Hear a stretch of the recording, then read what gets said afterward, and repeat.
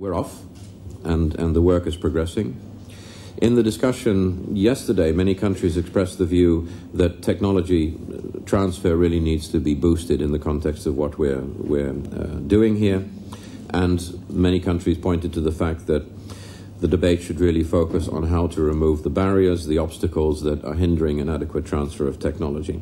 The ad hoc working group on long term cooperative action got off to a fairly positive start yesterday. Uh, there was some discussion, you may have noticed, on the number of contact groups that need to happen and the division of time uh, between those contact groups, with some countries feeling there was an overemphasis on the shared vision vis a vis the other elements of the Bali Action Plan. Uh, the chair of the process managed to resolve that, so all four of those context, contact groups will take place um, in a balanced way there was a strong sentiment expressed that governments need to speed up the work and to really um, to really shift gear.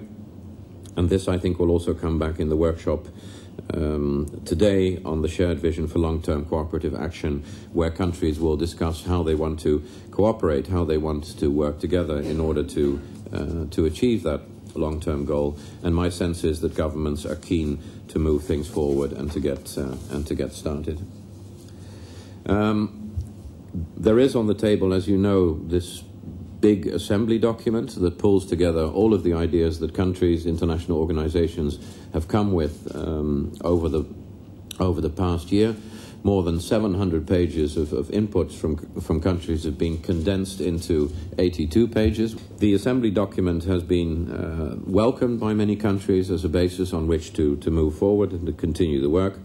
And the different contact groups will be taking up different chapters of that assembly paper uh, to deepen their understanding of what has been proposed, to express their views on the ideas that have come forward, and to really help us in the course of the next week move to a next generation of that, uh, of that document. The ad hoc working group under the Kyoto Protocol got off to a good start as well. Um, many countries have emphasized that the work here in, in Poznan really should concentrate on how to move forward on industrialized country commitments.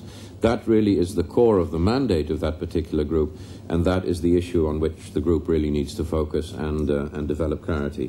What are industrialized countries willing to do in the next round? What tools do they need to deploy uh, to that end in order to be able to show a maximum uh, of ambition? So, in general, my summary would be uh, as I said, we're out of the starting gates. Uh, all of the major groups have launched their work. In, uh, in the different meetings, the chairs are already beginning to announce contact groups, which will focus on, on, on individual issues. So I'm happy with where we are. Thank you.